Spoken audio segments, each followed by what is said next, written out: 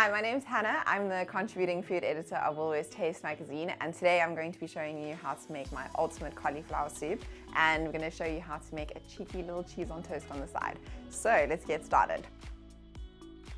Obviously, as a time saver, I like to buy the Woolies um, cauliflower florets already done and clean for you. So that's already job one done and dusted. And then for the base of my soup, I've got our beautiful baby leeks. With any good base, I absolutely believe in garlic. You have to have it. It's not like a non-negotiable. But yeah, just gonna give it a nice little whack. It's great for the midweek stress reliever.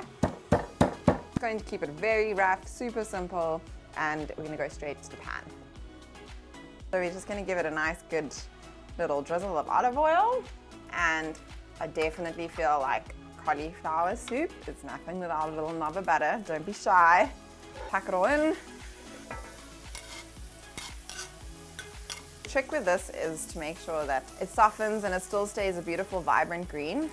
Cooking in 30 minutes or less is generally about multitasking. So while this is softening, we'll get our stock.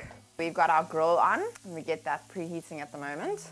Now we're gonna go in with our cauliflower, some water straight from the kettle, adding a little bit of veggie stock.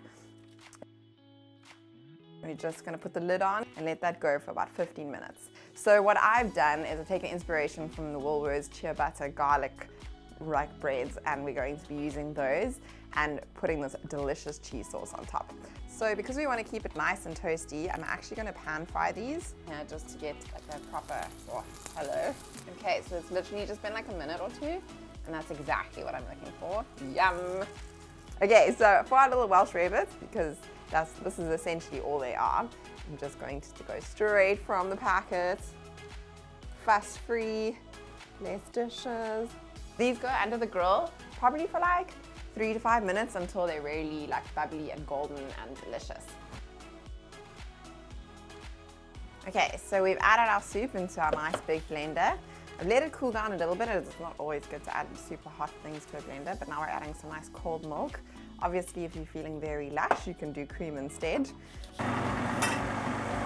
So easy peasy cauliflower soup, smooth and velvety. Dinner in 30. Never looked so zhuzhy. Sometimes I keep aside some of the leeks. And then chorizo, spicy, with a beautiful bit of paprika oil. And there you go. Even sage agrees. Like comfort in a bowl.